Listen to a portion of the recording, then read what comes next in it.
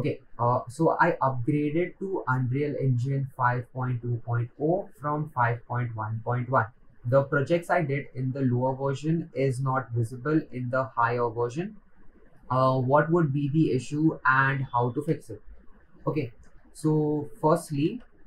uh,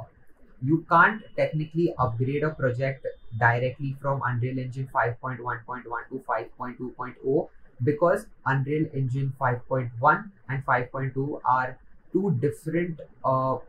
they offer two different sets of features and 5.2 was a major upgrade which basically means that they changed a lot of the features they added new features they removed some older features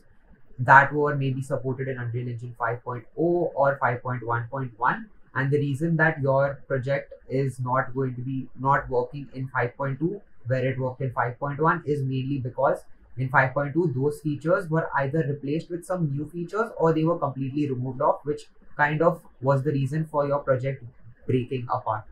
So in order to kind of handle this situation i would recommend to not upgrade to 5.2 and to either stick with 5.0.3 if you're doing the acp course. You can stick with 5.0.3 because everything will work on that for 5.0.3 and if it's maybe a personal project that you're kind of working on you can definitely use 5.1.1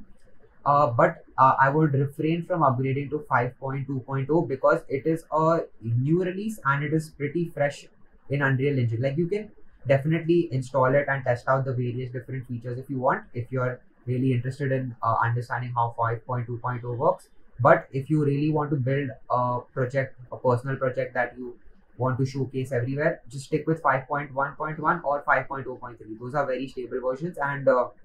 5.2.0 maybe in a few months maybe then you could be able to upgrade to 5.2 but getting projects from 5.1 to 5.2 is uh, not going to work out. It will break your 5.1 project. So it's not recommended to do that